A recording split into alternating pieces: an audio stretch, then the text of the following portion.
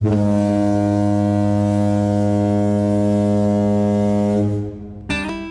太郎の海賊ラジオ。ちょっと立ち話。小野清太郎です、えーちょっと立ち話です。今年は不法が連続しています。悲しい話が伝わってまいります。で今日はまあ時は流れていくんだから仕方がないなって思いながらもかなり私、めいった立ち話になってしまうんですがね。元日本放送の野球実況で一つの時代を築いた深沢博士アナウンサー。私の大学の放送研究会の大先輩でありながら、それ以上に私をアナウンサーの道に導いてくれて、なおかつ、若い頃、厳しく現場で指導をしてくれた恩人が亡くなったと。木曜の夜、ネットニュースで知って、で、私のその大学時代の後輩で日本放送のスポーツアナウンサーで、彼も一つの時代を築いた小口和夫アナウンサーに連絡したら、そうなんですよ、小野さん。深沢さん亡くなったんです。っていうメールをもらいました。私はあの、文化放送です。深沢さんは日本放送です。会うのは野球の現場です。それ以外会うことはほとんどありません。でも、大学の3年から4年にかけて、そろそろアナウンサー試験を意識に置いて、就職活動、まあアナウンサー試験に向かっていこうかなと思った時に、先輩からの仲立ちで初めてお会いしたのが、日本放送の有楽町のロビーで、それが深沢博さんだったんですね。もう初めからざっくばらんなんですよ。おい、小野、お前何やりたいんだ？まず最初はそれでした。私あの、いろんなことに挑戦したいと思います。おう、いろんなことはいいんだけどな、いろんなことできねえんだよ。うん？お前スポーツやりたいのか？それとも、芸能やりたいんだ？うん？報道か？それはっきりした方がいいぞ。試験の時にもそう言った方がいいぞ。文化放送な、スポーツアナウンサーは手足りないらしいから、スポーツった方が入りやすいんじゃねえか？でもな、お前生半可な努力じゃねえ、なかなか入れねえぞ。アナウンサー試験難しいから、いろいろ教えてやるから、これからも一週間いっぺん飯食いに来い。一週間いっぺん行きましたよ。で、日本放送の、そのビルの中にあったレストランで、ハンバーグごちそうになったり、カレーごちそうになったり、30分ぐらい、深沢さんからいろんな話を聞きました。いわゆるアナウンスのテクニックを教わるわけじゃないんです。アナウンサーになるための心構えです。そして、私、幸いのことに、文化放送にアナウンサーとして入社するわけですが、あのスポーツやりたいですと言って入ったもんですから、スポーツアナウンサーとしてスタートを切ります。まあ、あの東京競馬場や中山競馬場、まあ競馬の世界でも深沢さん実況もやっていたからお会いしたし、その他のスポーツでもあったんですけれども、一番たびたび会うのは、プロ野球のスタジアムですね。後楽園球場、あるいは神宮球場、川崎球場、そして今の横浜スタジアムです。で、取材をしているときに、深沢さんが、大野ちょっとこっち来いって言われて呼ばれて、ダッグアウトに座ったんです。ちょうど巨人の練習の時に。で、ダッグアウトに座って、巨人の選手たちがカゴの中に入ってフリーバッティングをやるのをじーっと見ていて、大野お前、ボケっと見てんじゃねえよ。全く意味わかんなかったです。いいか？問題意識持って練習見ろよ。今、誰々がバッティングケージでフリーバッティングやってるだろう？あれ、毎日じーっと見ていると、昨日と今日違うのがわかるぞ。実は、皆さんご存知のように、深沢博士、あの長島茂雄は大親友なんですね。この大親友になったきっかけが、実は今深沢さんが入った1年目の私に言ったその局面なんです。長島茂雄さんがバッティングでフリーバッティングの練習をしている。深沢さんはじーっとそれを見ていた。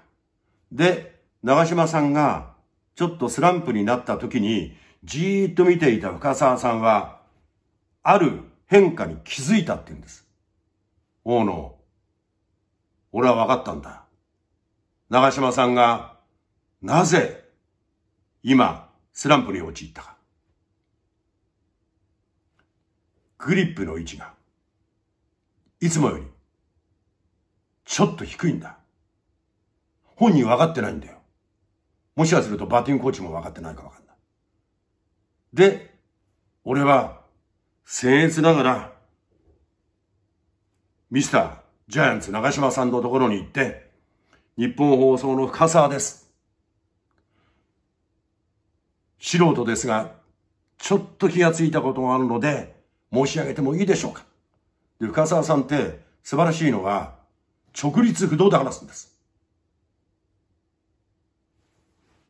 背筋伸ばして。で、長島さんはああいう性格ですから、あ、何ですか？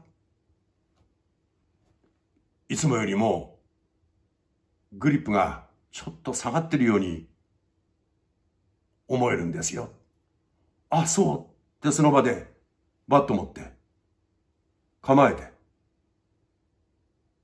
そして深沢さんがいい時はもう少しグループが上ではないですかうん、こんくらいかなそのやりとりから始まって、見事に長島さんがスランプから抜け出して、その後長島さんが深沢さんに信頼感を置いて、もう単なる取材のアナウンサーと、プロ野球の、ミスタープロ野球のような長島茂雄の関係ではない。長島さん、深ちゃん。この関係になったって言うんですね。もうこの間にいろんなことがあるんですよ。面白い話も聞きましたけれども、今日はそれ省きます。だから、ぼーっと練習を見てちゃダメなんだ。だから、チコちゃんの前にぼーっとって言葉使ってたのは深沢さんなんですよ。いいかもの。人と同じことやっちゃダメだぞ。練習を見るときには真剣に見ろ。それからな、野球中継は担当がそのうちにデビューするから、一生懸命ボール終え、抜いたらダメだぞ言われて、私3年目に偶然に巨人阪神戦を全国ネットで喋らせてもらって、それも多分深澤さんは聞いていたんでしょうね。ええ。うまあ私はうまくできたと思ったんだけれども、深澤さんにとっちゃどうしようもない。まあデビューはデビューでよかったんだよ。お前の中華やった話になったわけですよ。で、私は5年目ぐらいだったんですかね。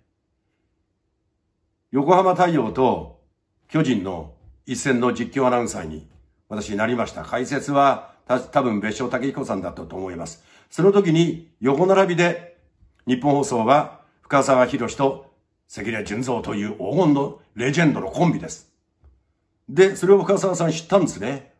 それで私のとこ来て、お前、今度、太陽と巨人の実況中継するだろう。奥さんに言って、俺とお前の実況中継を収録してもらえ。同時にカセットを押せばいいんだ。6時の時報とともに。そうするとな、お前の喋りが、いかにいい加減かがよくわかる。お前はな、いつもこうなんだ。ピッチャー投げた。打った。サード、ファーこんなの聞いてる人全くわかんねえだろう。ピッチャー投げて打った。そのファールボールが、ファールだったら、一体スタンドのどのあたりに入ったかで、その時のピッチャーとバッターの関係もわかるし、球種も想像できるし、次何を投げるかっていう想像が広がるんだ。本当のおめえのな、実況はな、大雑把でいい加減なんだ。って言われて。で、うちの女房に言って、6時同時にカセット録音してもらいましたよ。まあ言われてるもんだから、私もその試合は細かく細かく追いましたよ。ね？いつも以上に細かく追ったんです。ところが、帰って聞いたら、いや、深沢博士アナウンサーの実況の細かさ、細かさ。いや、もう細部にわたるまで細かいわけですよ。で、なおかつ、関野純三さんにもきちんと話を振って聞いてるわけですよ。絶妙なんですよ、中継そのものが。で、最後までバテないんですよ。9回終わるまで、実況は細かいんです。声も出てんです。私7回ぐらいからちょっとね、大雑把になっていきますもんね、一生懸命やっていても。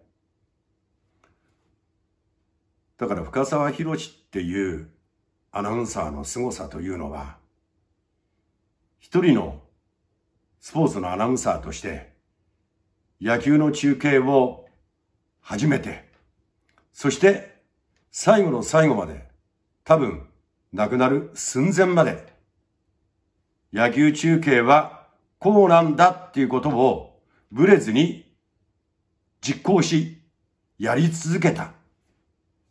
まあ、お手本のような存在だったんじゃないでしょうか。名アナウンサー数々いますよ。NHK にもね。それから TBS にも。我が文化放送にも。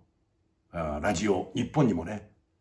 でも、深沢博先輩は、唯一無二の存在でありました。まだたくさんですけどね、喋りたいこと。でも、さすがに、今日はこのぐらいにしておきますよ。まあ、体の調子が悪いって話は、運動記者クラブの会合がありましたから、あの、プリンスホテルでお会いした時に言ってましたから、おの、お前、体気をつけろ。いつまでも元気で喋れ。いいか？お前声良くなってたぞ。酒飲みすぎるな。あれが深沢さんとの最後の会話になってしまいました。それと、深沢さん、来年3月、私たち夫婦、結婚50年迎えます。結婚する前から、日本層、二人で遊びに行って、あるいはあの周辺でお茶飲んでると、深沢さんが発見してくれて、思ってもらって、ありがとうございました。主賓の挨拶で言ったこと、やり続けてます。おめえのいいところは一本気だからな。やり続けろよって主賓の挨拶で言ってくれたこと未だやってます。本当にお世話になりました。そして、長い人生、お疲れ様でした。